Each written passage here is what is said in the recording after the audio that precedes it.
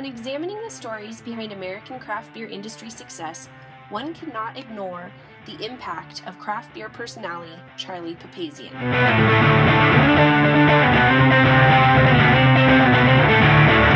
A vital beer revolutionary, Charlie began to change the craft beer climate beginning in the 70s. Charlie began homebrewing at a time when old prohibition paradigms still impacted beer law in the U.S. Charlie's use of storytelling brought homebrewing back as a cherished cultural pastime when he published The Complete Joy of Homebrewing in 1984. Charlie's words were so well received by the general public that he was catapulted into the craft beer industry as an inspirational figure for many future craft brewing achievements.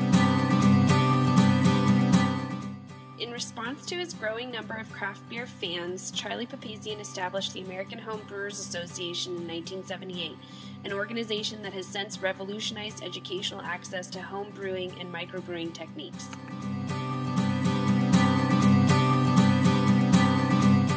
Charlie began the membership out of his home, where it has since grown to be 25,000 members strong.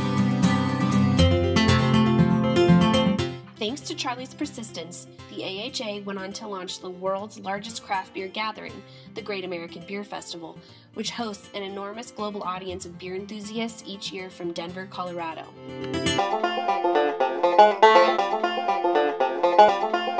Papazian has gone on to publish other books on the subject and has perfected audience relevance and direction through his personalization.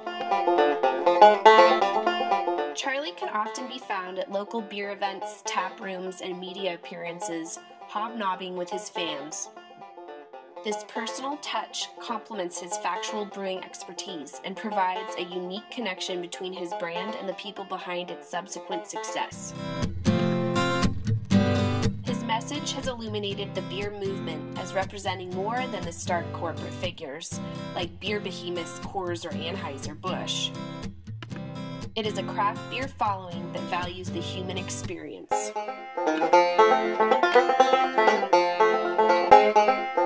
Perhaps Papazian's greatest craft beer contribution has been his humanistic approach to the beautiful yet complex art of craft brewing.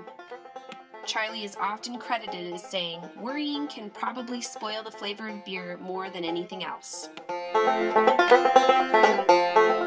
Message remains immortalized as the first rule of home brewing and AHA motto Relax, don't worry, have a home brew.